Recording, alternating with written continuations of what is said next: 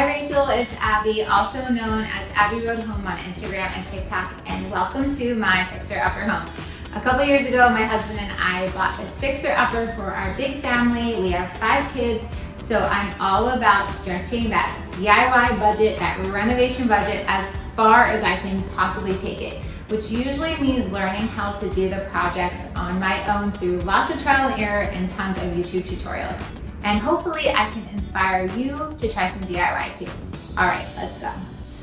This is one of my favorite DIY projects ever because it's so easy and fun to do. So I started out with a 15 year old black stained dresser and I really wanted to give it a new look.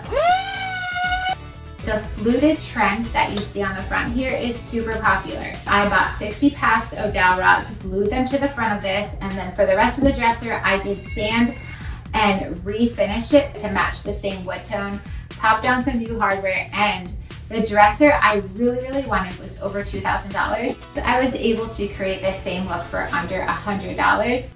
For my boys' bedroom, I knew that I really wanted to build them a climbing wall. They have so much energy and also super affordable coming in at under $150. What you'll need for this project are 2x4s to build your frame attached to the studs that are behind the drywall itself.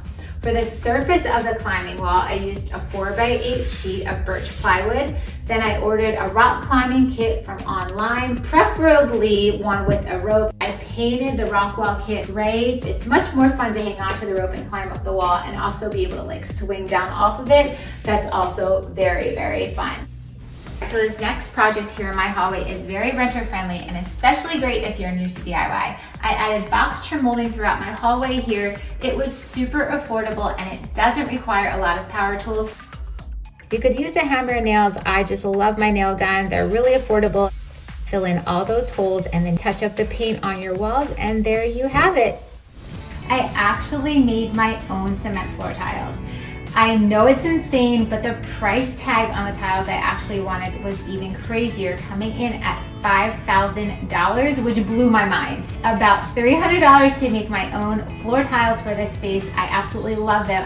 I had six forms made for this and it took me about four weeks to make all of my tiles. Be sure to seal them. I sealed my tiles with three layers of sealant and they look amazing. They have held up beautifully over the last months now. Thank you, Rachael, for having me. Bye.